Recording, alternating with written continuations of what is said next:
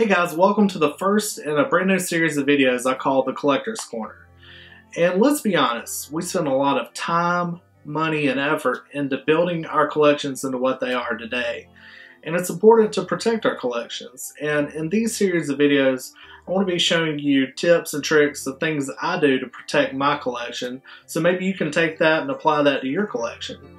And in a lot of comments, I've had questions as to where I buy my clear plastic covers that go on my games. And I want to address that in this video and talk about why I use these to protect my games. And the first reason I use clear plastic protectors on my games is to protect it from liquids and just moisture in general. You know, the clear plastic protector isn't waterproof or anything like that, but it provides one more barrier to protect your games.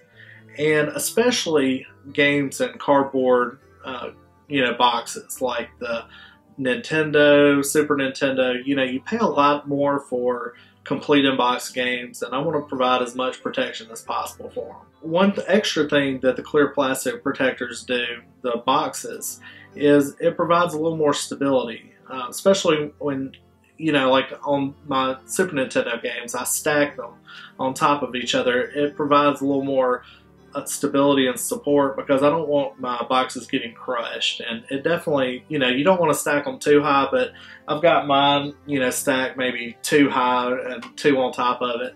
And there's no problem with that. So that's another reason. And the third is to protect it against dust.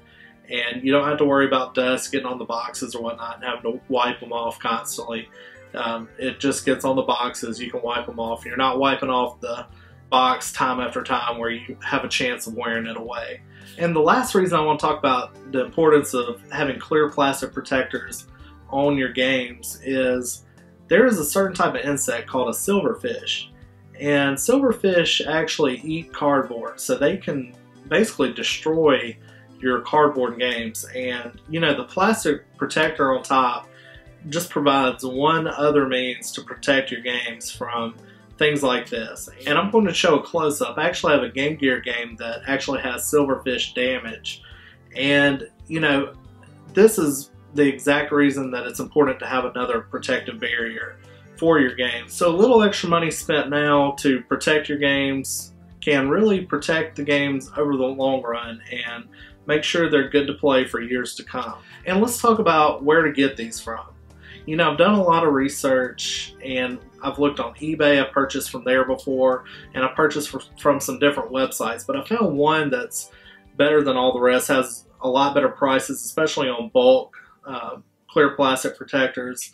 And the name of the website is retroprotection.com. And one of the things I like about it, other than the, the better prices, is uh, this website offers so much more variety in the type boxes they offer than some of the websites. Very unique boxes. Uh, for instance, I purchased a clear plastic protector for my Game Boy. I'll do a close up of that so you can see it, but I've got a Game Boy complete in box, and you know, when I found this on there, I was like, I've got to get this because you know I want to protect this box and you know keep it looking mint and and you know brand new. So definitely I picked that up.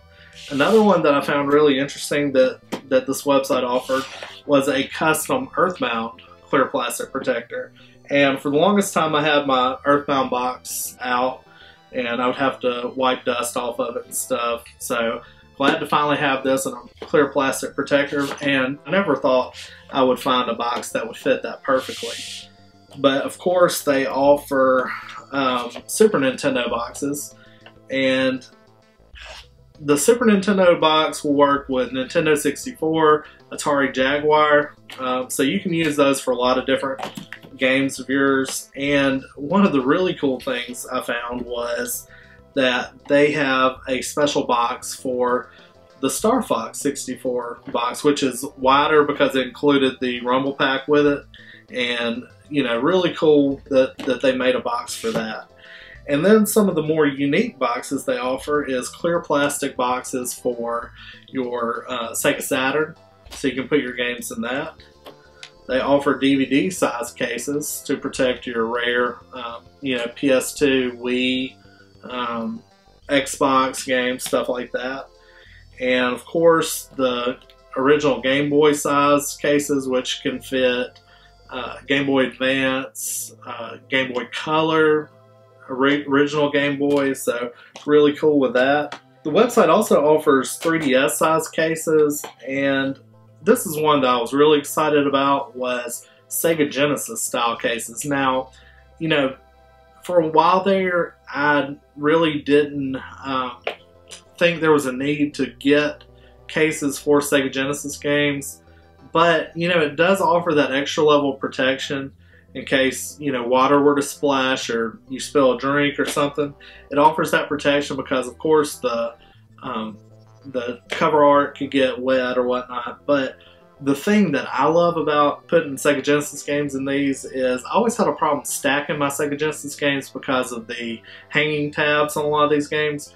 Well, you can kind of fold the hanging tab over and you know close the box and you know it works perfect for that so now I can stack my games up a little bit higher and I can actually uh, get more uh, room out of my shelf because you know I couldn't stack games on top of the ones with the tabs.